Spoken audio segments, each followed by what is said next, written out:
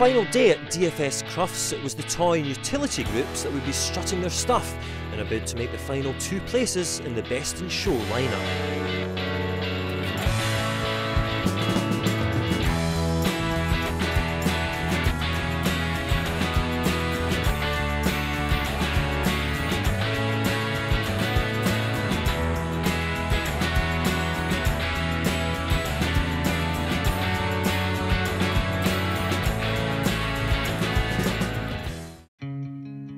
This year's Friends for Life competition once again celebrated the incredible stories of friendship in adversity.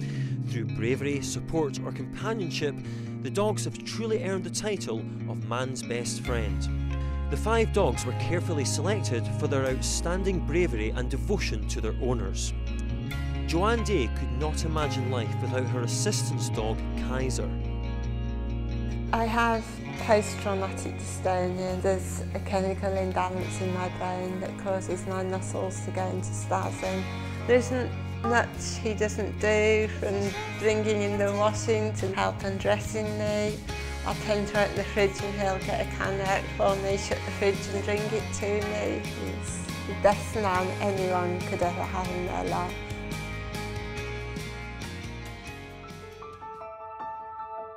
Shirley, the medical detection dog, literally keeps seven-year-old Rebecca alive. Rebecca was diagnosed diabetic type 1 when she was four years old. One minute she's absolutely fine, the next minute she can be collapsed on the floor. And uh, that's the reason why we've got Shirley. When Rebecca's sugar levels go too high, Shirley would um, keep licking her hands, licking her legs, and that meant that Rebecca would need an injection. Shirley means everything to Rebecca. She's Rebecca's soulmate and they're always they're inseparable. Rebecca would never ever want to be without Shirley. Jake. Jake the sniffer dog risked his life to search the bus wreckage after the London 7-7 bombings. On 7-7 we received the call to go to Tavistock Square. When I arrived I was approached by an off-duty police officer who had looked on the bus and saw what he believed to be a secondary device. We couldn't let any more people onto the bus until we'd cleared it, so I conducted a search with Jake. Jake gave me no indication that there was anything suspicious with that box, so I declared that the bus was safe. If ever there was a time that I had to trust Jake, it, was that day, and I trust him implicitly. I absolutely adore him, love him to bits. He's, uh, he's my little mate who comes to work with me every day. Support dog Merlin has helped turn around the life of 10-year-old Grace. Grace has autism and she has attention deficit hyperactivity disorder. Before Merlin, she used to suffer from terrible separation anxiety. Even if one of us went out from home, she didn't think we'd be coming back. She often would say, that's it, I'll never see them again. And now you just say goodbye to her and she's got Merlin with her and she settles. And the difference is phenomenal. She does still get upset about things, but he's there and he gives her a nuzzle with his soft velvety nose, and it's all right again.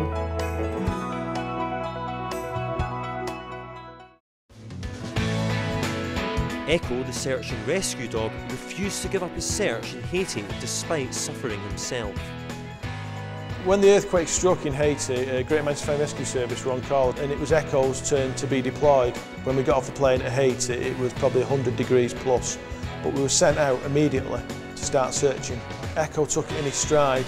He's just an all-round character. He searches really, really well. He, he's like the ultimate searcher, if you like. He's, uh, he's a good friend. He's not just my work partner, he's, he's my best friend as well. Oh, God, oh, yeah.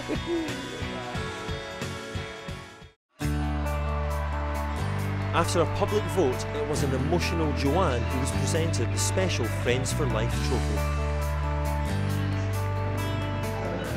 Speechless. I, I'm just, to have him recognised is everything to me. That if I didn't have him, I would be sitting here laughing and smiling. And if canine partners hadn't uh, trained him and given him to me, we wouldn't be sitting here now. And it's just, I'd like to thank them for all the hard work they put in. And Kaiser, because he's wonderful, absolutely wonderful.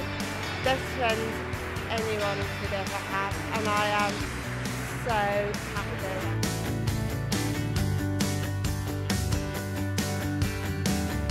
In the penultimate judging rounds, the splendid Theo, owned by Sharon Pine Haynes, won the utility group. And it was Eric, owned by a delighted Michael Coad in the toy group, that secured the final spot in the Best in Show lineup.